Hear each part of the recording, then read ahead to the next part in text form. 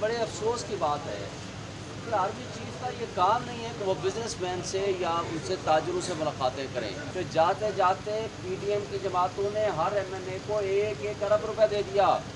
और वो तीन सौ बत्तीस, तीन सौ बत्तीस बिलियन रुपीस वो बांट दिए गए।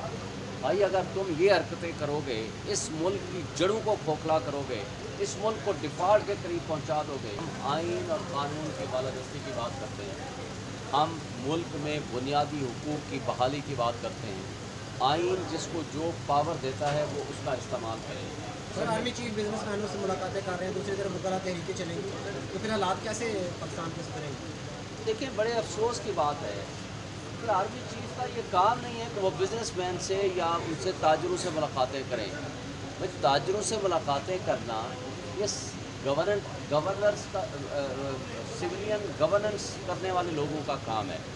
सिविल एडमिनिस्ट्रेशन का काम भी किया करते हैं सर। गलत है। वो भी गलत था ये भी गलत है।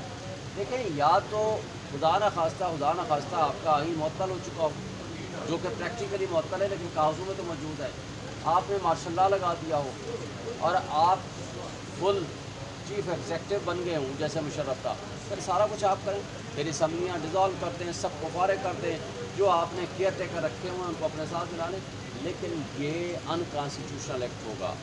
ऐसा कोई भी कदम जो आप सिविलियन सुप्रीमेसी के ख़िलाफ़ होगा। सिविलियन सुप्रीमेसी वालों को भी तो चाहिए ना। जमहूरी लोग अगर करप्शन करेंगे जाते जाते आज जुगनू मौसम में कल कहा है ना तो जाते जाते पीडीएम की जमातों ने हर एमएनए को एक एक अरब रुपए दे दिया।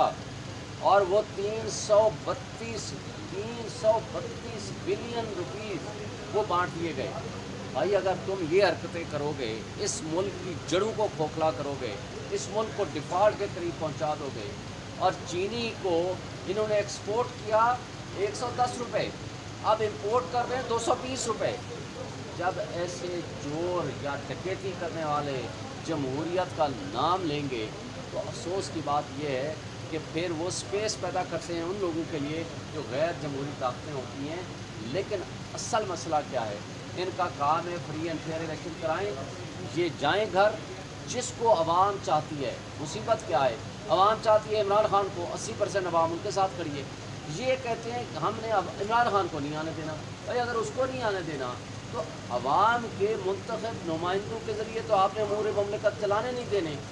हमारी इस्टेबलिशमेंट अगर मंतखब नुमाइंदों को नहीं आने देगी तो फिर जो चोर डाकू हमारे ऊपर मुसलत करेंगे तो उन्होंने मुल्क का ख़जाना भी लूटना है, फिर ताजरों ने भी शिकायतें करनी हैं, फिर आवाम ने भी शिकायतें करनी हैं, फिर बिल वालों ने भी खड़े होना है।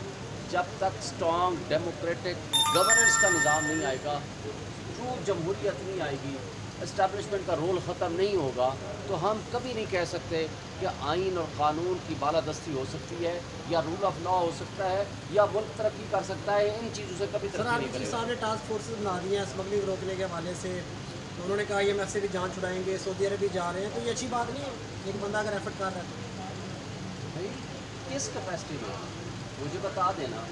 अगर चीफ ऑफ़ आर्मी स्टाफ ने टास्क फोर्सेज बनाने हैं उन्होंने स्मगलिंग रोकनी है, उन्होंने ये करना है, उन्होंने वो करना है। भाई, ये काम है elected prime minister and elected elected chief minister का। अगर वो नहीं करते तो उनके साथ खिलाफ एहतसाब करो। और जब आप वो ये ज़िम्मेदारी लगाते हैं, आपको आर्टिकल 245 में ले आते हैं, अपनी एड में आपको ज़िम्मेदारी लगाएँ तो आप उसमें ज़रूर काम करो। लेकिन प्राइम मिनिस्टर की पावर्स अगर चीफ ऑफ़ आर्मी स्टाफ इस्तेमाल करेगा तो वो अनकॉन्स्टिट्यूशन होगा। सर, आपको नहीं लगता सर, आप इस तरह अगर बयान दे रहे और इस मुल्क में जो हो रहा है आपके सामने, ऐसा ना कि सर वकला के खिलाफ भी कुछ शुरू हो जाए और आप लोगों को भी उठाना शुरू कर देखिए, हम आइन और कानून की बालादस्ती की बात करते हैं। हम मुल्क में बुनियादी हकूक़ की बहाली की बात करते हैं। आइन जिसको जो पावर देता है, वो उसका इस्तेमाल करें। लेकिन मुझे बताएँ कि आज से सोलह महीने पहले, यही नहीं है पी टी एम की जमातों को सर पर मुसलत हमारे किया था और इनको मुसलत किया था तो उस वक्त उनसे पूछते ना कि ये जो चोरियाँ कर रहे थे, ये जो सौ सौ अरब बांट रहे थे, जो मुल्क के साथ जुल्म कर रहे थे, आज जो बुनियादी इंसानी हकूक़ मअतल हैं, आज जो लोगों को उठाया जा रहा है, आखिर वो कौन है? पहले तो इसका इसका आप डिग आउट करो ना जो मिसिंग पर्सन है, वो कहाँ पड़े हुए हैं? तो फिर बाकी काम भी करो अच्छा काम भी, अगर देखें अच्छा काम भी अगर गलत गलत तरीके से किया जाए तो उस पर तनकीद होगी। आप अगर मुझे बताएँ मगरब और सुबह तुलु आफ्ताब और ग़रूब आफ्ताब के टाइम नमाज़ पढ़ना या इवन नफन पढ़ना क्यों जायज़ नहीं है?